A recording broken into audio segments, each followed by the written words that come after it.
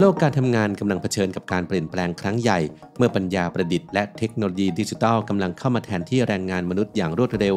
จากการสำรวจบริษัทกว่า 800 แห่งทั่วโลกพบว่าในอีก 5 ปีข้างหน้า จะมีการสูญเสียงานกว่า 83 ล้านตำแหน่ง แต่ในขณะเดียวกันก็จะมีการสร้างงานใหม่ถึง 69 ล้านตำแหน่ง สะท้อนให้เห็นถึงการเปลี่ยนแปลงโครงสร้างตลาดแรงงานครั้งใหญ่ที่กำลังจะเกิดขึ้น วันนี้เราจะพาไปดู 20 อาชีพ ที่จะบอกถึงอนาคตของการทำงาน ทั้ง 10 อาชีพที่กำลังมาแรง และยังทำเงินได้อีกนานในทศวรรษหน้า และอีก 10 อาชีพที่กำลังถูกเทคโนโลยีคุกคาม และอาจต้องปรับตัวครั้งใหญ่ครับข้อมูลนี้มาจากการสรุปรายงานของ World Economic Forum ในปี 2023 ในหัวข้อ Future of Jobs Report โดยเราจะเริ่มจาก 10 อาชีพที่กำลังถูกคุกคาม จากอันดับ 10 ไปจนถึงอันดับ 1 คือคุกคามมากที่สุด เพื่อให้เห็นภาพของการเปลี่ยนแปลงที่กำลังจะเกิดขึ้น และเตรียมพร้อมรับมือกับอนาคตที่กำลังจะมาถึงกันครับ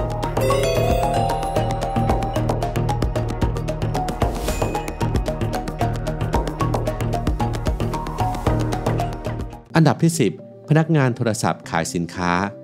การตลาดดิจิทัล และระบบการขายอัตโนมัติกำลังเข้ามาแทนที่การขายทางโทรศัพท์แบบดั้งเดิม โดยคาดว่าจะมีการลดลงของตำแหน่งงานถึง 15-20%เนื่องจากบริษัทต่างๆ หันไปใช้ระบบการตลาดแบบอัตโนมัติ และการตลาดผ่านสื่อสังคมออนไลน์ที่มีประสิทธิภาพ และต้นทุนที่ต่ำกว่า อันดับที่ 9 เจ้าหน้าที่รักษาความปลอดภัย ระบบรักษาความปลอดภัยอัจฉริยะ ล้องวงจรปิดที่ใช้ปัญญาประดิษฐ์และระบบตรวจจับอัตโนมัติกำลังทำให้ความต้องการเจ้าหน้าที่รักษาความปลอดภัยลดลง โดยคาดว่าจะมีการลดลงของตำแหน่งงานถึง 16-20%ในอีก 5 ปีข้างหน้า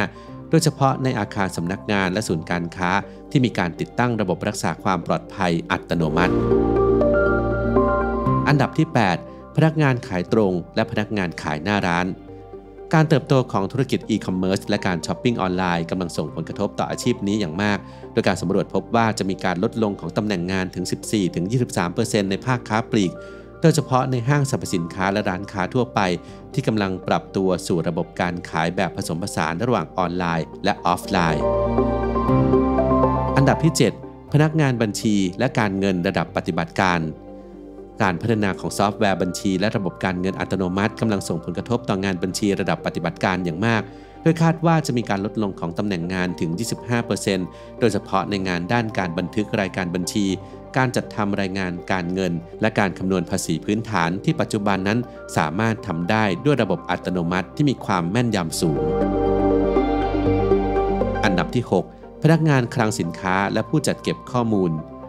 หุ่นยนต์และระบบอัตโนมัติกำลังเข้ามาแทนที่แรงงานมนุษย์ในคลังสินค้าอย่างรวดเร็ว โดยข้อมูลชี้ว่าอาชีพนี้จะมีอัตราการลดลงถึง 51%ในอีก 5 ปีข้างหน้า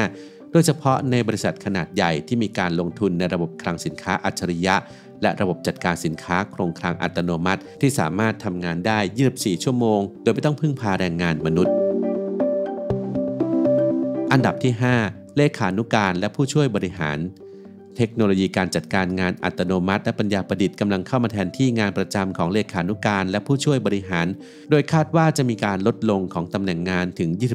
23-35%ในอีก 5 ปีข้างหน้า โดยเฉพาะงานด้านการจัดการตารางเวลา การจัดเก็บเอกสาร และการประสานงานพื้นฐานที่สามารถทำได้ด้วยซอฟต์แวร์ และแอปพลิเคชันต่าง ๆ อันดับที่ 4 พนักงานป้อนข้อมูล อาชีพนี้กำลังเผชิญกับการเปลี่ยนแปลงครั้งใหญ่ เมื่อระบบการจดจำข้อความอัจฉริยะ และระบบประมวลผลอัตโนมัติ เข้ามาแทนที่ การสำรวจพบว่าความต้องการพนักงานป้อนข้อมูลจะลดลงถึง 39-42%โดยเชพาะในภาคการเงินและการธนาคาร ที่มีการนำเทคโนโลยีมาใช้อย่างเข้มข้น 3. แคชเชียร์และพนักงานขายตัว๋ว ระบบการชำระเงินอัตโนมัติ และการซื้อตั๋วออนไลน์กำลังส่งผลกระทบอย่างหนักต่ออาชีพนี้ โดยคาดการว่าจะมีการลดลงของตำแหน่งงานถึง 25-35%ทั้งในภาคค้าปลีกและการบริการ สถานการณ์นี้รุนแรงเป็นพิเศษในประเทศที่มีการนำระบบอัตโนมัติมาใช้อย่างแพร่หลาย อย่างสิงคโปร์ ญี่ปุ่น และเกาหลีใต้ อันดับที่ 2 เจ้าหน้าที่ไปรษณีย์ ในยุคที่การสื่อสารดิจิทัลกำลังเฟื่องฟู เจ้าหน้าที่ไปรษณีย์กำลังเผชิญกับความท้าทายครั้งใหญ่ เมื่อจดหมายและเอกสารกระดาษถูกแทนที่ด้วยอีเมล และการสื่อสารดิจิทัลรูปแบบต่างๆ ข้อมูลชี้ว่าตำแหน่งงานในสายงานนี้จะลดลงถึง 20-30%โดยเฉพาะในส่วนของงานจัดการส่งเอกสารทั่วไป แม้ว่าการเติบโตของธุรกิจอีคอมเมิร์ซจะทำให้ความต้องการขนส่งพัสดุเพิ่มขึ้น แต่ก็ไม่เพียงพอที่จะชดเชยการลดลงของงานด้านเอกสาร ดับที่ 1 พนักงานธนาคารและเจ้าหน้าที่ที่เกี่ยวข้อง จากผลการสำรวจพบว่าพนักงานธนาคารและเจ้าหน้าที่ที่เกี่ยวข้อง เป็นกลุ่มที่ได้รับผลกระทบรุนแรงที่สุด โดยมีอัตราการลดลงของตำแหน่งงานสูงถึง 25-35%ในอีก 5 ปีข้างหน้าสาเหตุสำคัญมาจากการเติบโตของธนาคารดิจิทัล และการทำธุรกรรมออนไลน์ ที่ทำให้ความต้องการพนักงานหน้าเคาน์เตอร์ลดลงอย่างมาก โดยเฉพาะในประเทศที่มีการพัฒนาด้านเทคโนโลยีสูง ทั้งหมดเป็น 10 อาชีพที่กำลังถูกคุกคามโดยการเปลี่ยนแปลงมากที่สุด ทีนี้มาดูกันต่อครับว่า แล้ว 10 อาชีพที่กำลังมาแรง และมีแนวโน้มเติบโตในทศวรรษหน้ามีอะไรบ้าง เริ่มจากอันดับที่ 10 เติบโตแบบน้อยๆ ไปจนถึงอันดับที่ 1 คือ เป็นอาชีพที่มีโอกาสเติบโตได้สูงสุด มาดูกันครับ อันดับที่ 10 ผู้เชี่ยวชาญด้านการวิเคราะห์ข้อมูล การขยายตัวของการใช้ข้อมูลในการตัดสินใจทางธุรกิจทำให้อาชีพนี้มีแนวโน้มเติบโตอย่างต่อเนื่องที่ 22%โดยเฉพาะในภาคการเงิน การประกันภัยและการค้าปลีก ที่มีความต้องการสูงถึง 37-42%บทบาทสำคัญคือการวิเคราะห์ข้อมูลเชิงลึก การสร้างโมเดลการทำนาย และการให้คำแนะนำเชิงกลยุทธ์จากข้อมูล ที่จะช่วยให้องค์กรสามารถตัดสินใจได้อย่างแม่นยำและมีประสิทธิภาพมากขึ้น การสำรวจพบว่าทักษะนี้เป็นที่ต้องการสูงเป็นพิเศษในประเทศจีน สหรัฐอเมริกา และสิงคโปร์ อันดับที่ 9 ผู้เชี่ยวชาญด้านบล็อกเชน เทคโนโลยีบล็อกเชนกำลังได้รับความสนใจจากหลายอุตสาหกรรม โดยเฉพาะภาคการเงินและโลจิสติก คาดว่าจะมีการเติบโตของตำแหน่งงานสูงถึง 20-25%บทบาทสำคัญคือการพัฒนาแอปพลิเคชันบนเทคโนโลยีบล็อกเชน การพัฒนาสัญญาอัจฉริยะหรือ smart contract และการประยุกต์ใช้เทคโนโลยีบล็อกเชนในธุรกิจ อันดับที่ 8 ผู้เชี่ยวชาญด้านอีคอมเมิร์ซการเติบโตของตลาดออนไลน์ทำให้อาชีพนี้มีแนวโน้มเติบโตสูงถึง 25%โดยเฉพาะในภูมิภาคเอเชียตะวันออกเฉียงใต้ บทบาทสำคัญคือการพัฒนาและบริหารจัดการแพลตฟอร์มการค้าออนไลน์ การวิเคราะห์ตลาด และการพัฒนากลยุทธ์การขายออนไลน์